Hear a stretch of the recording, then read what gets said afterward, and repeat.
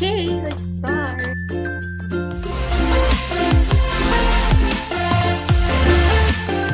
So, ang pag-invest sa stock market ay isang passive income. So, kapag ka bumili ka ng stock, ibig sabihin, bumili ka ng shares or ownership ng company. So, once you buy or invest sa stock, you now become a part owner or a shareholder.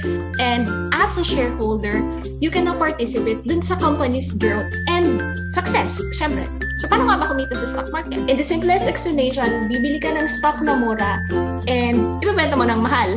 Ayos ba? ang daling sabihin, ang hirap gawin. So, bigyan ka ng example. So, for example, bumili ka ng Jollibee Food Corporation na stock. Kapag ka bumili ka ng Jollibee, JFC yung stock code, ibig sabihin, kasama ka na ng Jollibee sa paglago ng kumpanya. So, for example, bumili ka ng shares ng Jollibee worth 100 pesos. And after one month, yung price ng stock naging 150 pesos. Ibig sabihin, kumita ka na ng 50 pesos. There are two ways to earn in the stock market. One is capital gains and then two are dividends. So pag-usapan muna natin kung ano yung capital gains. So bigyan natin kita ng example, yung URC. So anong klaseng company ba tong URC?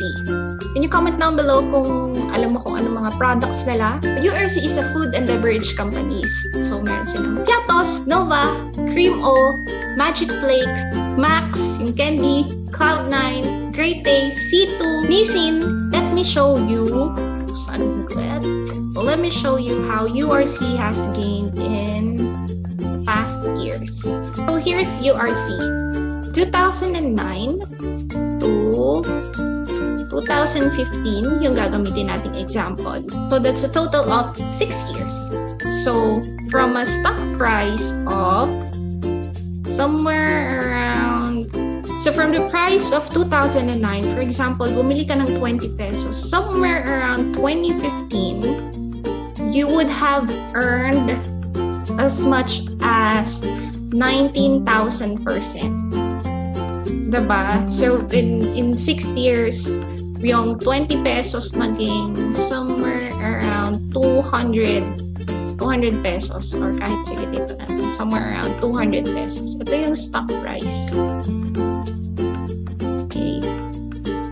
So that's one way of earning. So let's put it in a context na kunyari bumili ka talaga ng URC. So, yan. So for example, bumili ka ng 5,000 shares of URC for 20 pesos. So meron kang capital na 100,000 pesos.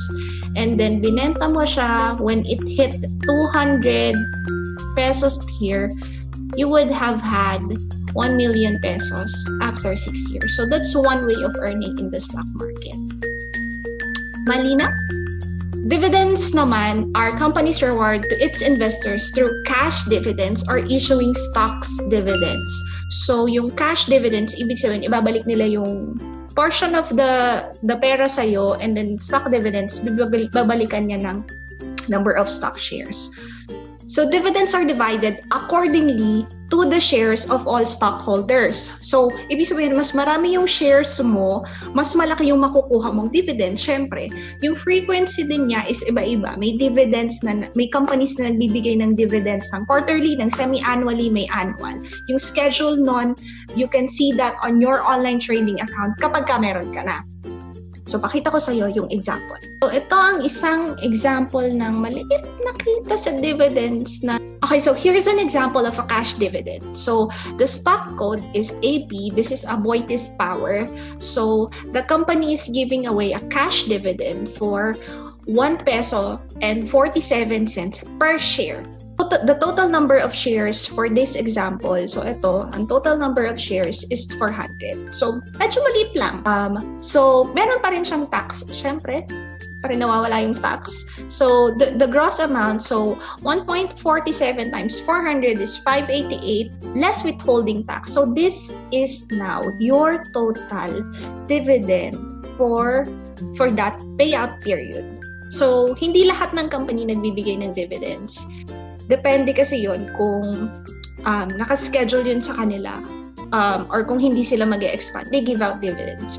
So this is one way of earning in the stock market. So yung ibig ko sabihin kanina na the dividends are divided according to the number of shares, ibig sabihin itong 400 mas malaki to, syempre mas magiging mas malaki yung net amount.